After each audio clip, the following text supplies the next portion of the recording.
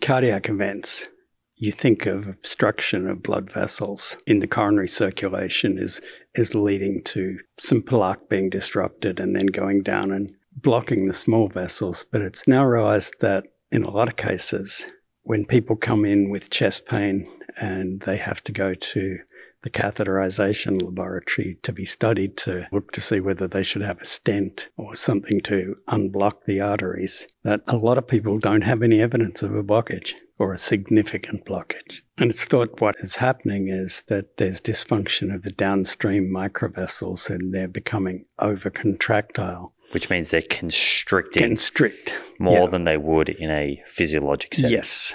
So in a pathophysiologic setting, they tightening. Yeah. So that you end up with angina or ischemic pain within the heart because you're not delivering the tissue, which is active, and enough nutrients.